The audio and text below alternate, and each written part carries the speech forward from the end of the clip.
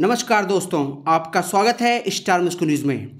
दोस्तों, जैसा कि आप जानते हैं, वीडियो भर्ती 2018 को लेकर जो 15 फरवरी को सुनवाई हुई थी, उस सुनवाई के बाद जज साहब ने इस भर्ती का ऑर्डर रिज़र्व कर लिया था।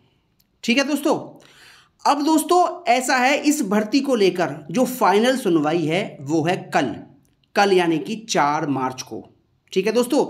चार मार्च को वीडियो भर्ती 2018 के ऊपर अंतिम फैसला जज साहब सुनाने जा रहे हैं। और दोस्तों, वीडियो के छात्रों के लिए कल का दिन बहुत महत्वपूर्ण है। और इस बारे में जो भी जानकारी मिलेगी कोर्ट के बारे में, कोर्ट का फैसला क्या होता है, ये जानकारी आपको मेरे द्वारा दे दी जाएगी। ठीक है दोस्तों?